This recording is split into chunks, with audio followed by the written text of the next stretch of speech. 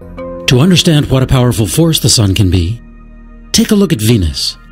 At almost exactly the same size and mass as Earth, it's truly our sister planet.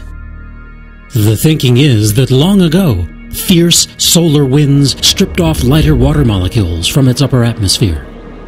What was left was a witch's brew of acidic gases and carbon dioxide that thickened at lower altitudes rising to some 90 times the density of Earth's atmosphere.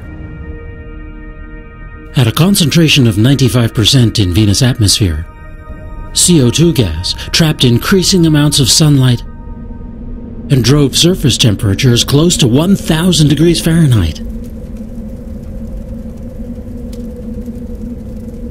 How did our Earth avoid such a harsh fate?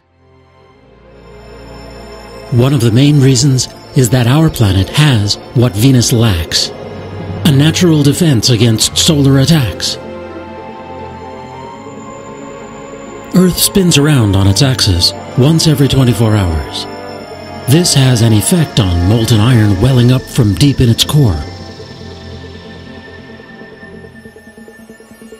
It's kind of like the alternator in your car. These plumes of hot metal generate magnetic fields that extend beyond our atmosphere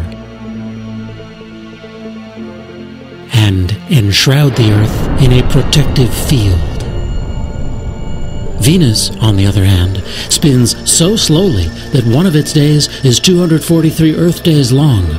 That's one reason it lacks a strong magnetic field. While Earth's magnetic field may be strong, it's not impenetrable. In fact, when the Sun shoots a CME in our direction, and that blast coincides with Earth's magnetic field. That chain of events is called a geomagnetic storm. Air travelers, whose routes fly near the poles, get a slightly increased dose of radiation, and the crews who fly them often need to keep track of their cumulative exposure. But space travelers are at much greater risk. Earth's atmosphere thins rapidly with increasing altitude. Outside its protective envelope, those living on space stations get twice as much radiation as the rest of us, even when the sun is quiet. When it erupts, as it did in 2003, astronauts and cosmonauts can absorb a whole year's radiation dose in just a couple of hours.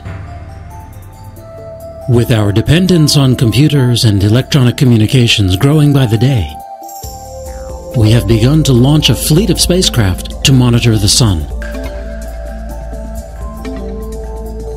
Some positioned in low Earth orbit, others out where our magnetic field meets the solar wind, and even beyond.